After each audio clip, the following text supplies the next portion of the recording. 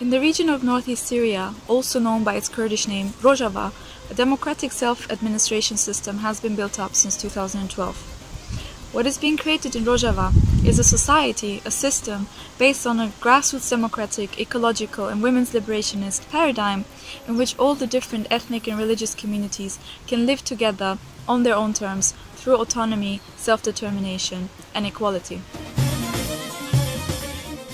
Nowadays, the revolution of Rojava is under big threat. It is not only by war, also other challenges are important.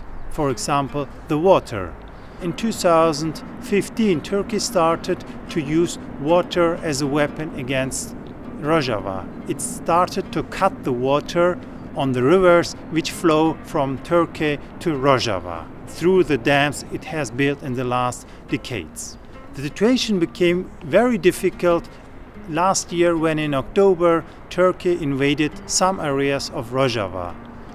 In the region of Serekaniye are a lot of uh, water sources which are used for almost half million people in the region around Haseke. In the last two months, the situation became much more uh, dramatic when the coronavirus came. Water should not be a weapon. Water should be a tool for peace. Now, the people in Rojava need your help.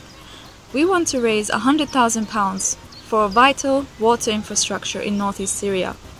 The fund will support women's cooperatives as well as local democratic municipalities in Rojava with projects like repairing infrastructure that has been damaged or destroyed by bombings, digging wells, wells and building water pumps for refugee camps, as well as funding long-term projects like cooperative farm irrigation systems and river cleaning initiatives. You can help support these efforts. Please let other people know about this campaign and donate what you can. Av Giane, water is life.